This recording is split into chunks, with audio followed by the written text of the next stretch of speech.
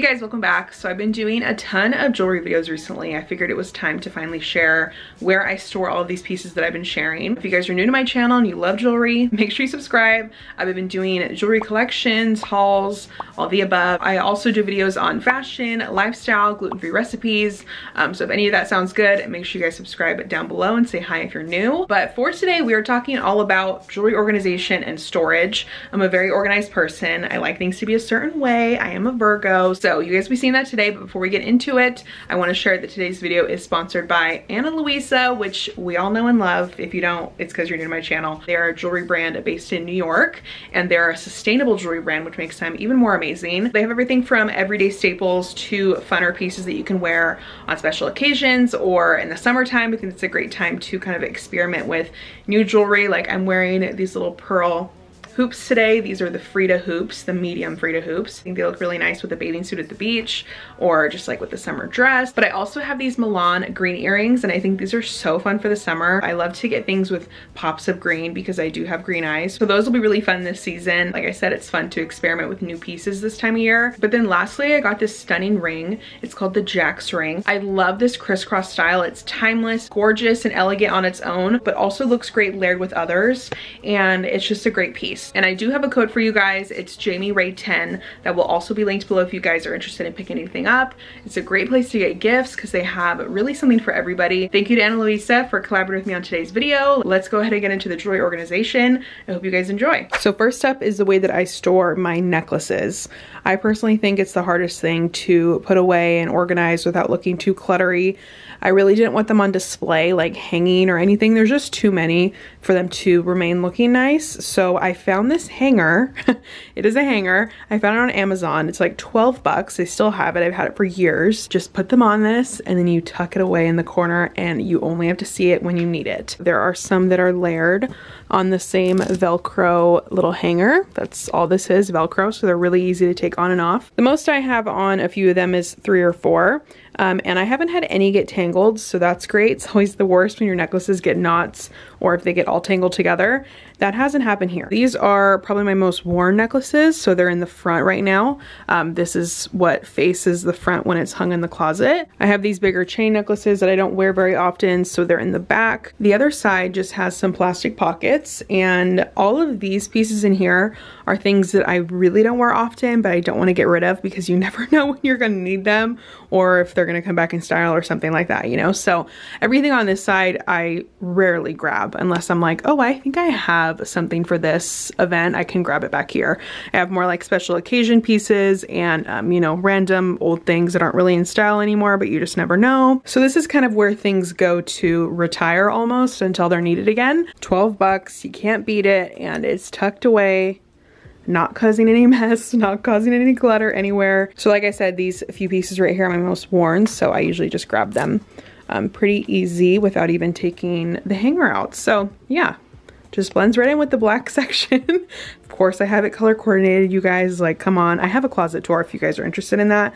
I'll link it below. But yeah, great find and great if you want to stay organized if you have a lot of jewelry. And moving over here, we have my vanity, which I have a dish on.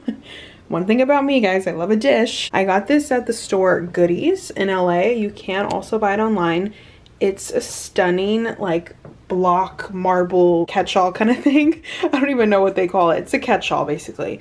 Um, but it was only $20 and it's heavy duty. Definitely feels more expensive. So everything in here is my current most worn jewelry. So this is where I keep things that I grab for every day, things that I wear a lot, and I also put new pieces in here sometimes. So if I get a few new pieces, just like those little Milan green earrings that are right there. I keep it in here so that I can grab for it easier and it just looks really pretty too. So I really love the way all the gold looks in this dish. They did have a like cream white colored marble as well. And while we're at my vanity, I have some earrings in this drawer. Um, I got all of these like acrylic cube organizers on Amazon. I will link them below for you guys. Um, I have just some more earrings in here. These don't really qualify as everyday pieces, but also they don't deserve to be in the retirement section yet either. They're easy to grab if I do want to wear them, but they're not in like the daily section, you know? Um, do you guys think I'm insane? I might be insane, but anyways, this organizer I believe is from the container store, but the rest of all of these are all from Amazon. So they all came in one set. Um, these like little square ones, this longer one, these rectangular ones, which is what I have for my earrings and my sunglasses.